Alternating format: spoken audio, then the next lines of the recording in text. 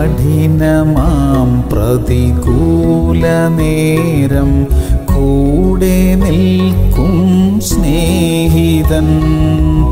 യേശുവല്ലാതാരുമില്ല ജയം തരും നമ്മെ ഉയർത്തിടും.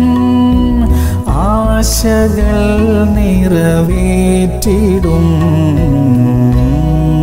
ഹഗായി രണ്ട് അഞ്ച്. എന്റെ ആത്മാവ് നിങ്ങളുടെ ഇടയിൽ വസിക്കുന്നു. നിങ്ങൾ ഭയപ്പെടേണ്ട. സഹോദരങ്ങളെ പരിശുദ്ധാത്മാവ് നമ്മളുടെ ഇടയിൽ നമ്മുടെ ഭവനത്തിൽ നമ്മുടെ ജീവിതത്തിൽ എപ്പോഴും കൂടെ വസിക്കുക എന്നുള്ളത് എത്ര വലിയ ഭാഗ്യമാണ് ദൈവത്തിന് നമ്മുടെ ജീവിതത്തിലും ഭവനത്തിലും വസിക്കുവാൻ കഴിയാത്ത എന്തെങ്കിലും വസ്തുക്കളോ അശുദ്ധികളോ സ്വഭാവങ്ങളോ ഉണ്ടെങ്കിൽ അതൊക്കെ ഉപേക്ഷിച്ച് കഴിയുമ്പോൾ തന്നെ ആ ഭവനത്തിനകത്തേക്ക് ജീവിതത്തിലേക്ക് വെളിച്ചം നിറയുന്നു. ദൈവത്തിന്റെ സാന്നിധ്യം പ്രതികൂലങ്ങളെ അനുകൂലമാക്കി തീർക്കുന്നു. പരാജയങ്ങളെ വിജയങ്ങളാക്കി തീർക്കുന്നു. ദുഃഖങ്ങളെ സന്തോഷങ്ങളാക്കി മാറ്റുന്നു. ശത്രുക്കളെ മിത്രങ്ങളാക്കി മാറ്റുന്നു. പരിശുദ്ധാത്മാവ് സന്തോഷത്തോടെ വസിക്കുന്ന ഭവനവും ജീവിതവുമാണല്ലോ നമ്മുടേത്.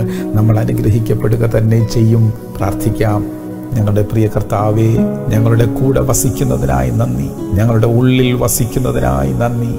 ഭയപ്പെടേണ്ട എന്ന വാക്കിനായി നന്ദി കർത്താവേ. അങ്ങേക്ക് ഇഷ്ടമില്ലാത്തത് ഒന്നും തന്നെ ഞങ്ങളുടെ ജീവിതത്തിൽ ഞങ്ങൾ അനുവദിക്കത്തില്ല. യേശു ക്രിസ്തുവിന്റെ നാമത്തിൽ തന്നെ ആമേൻ ആമേൻ ആമേൻ.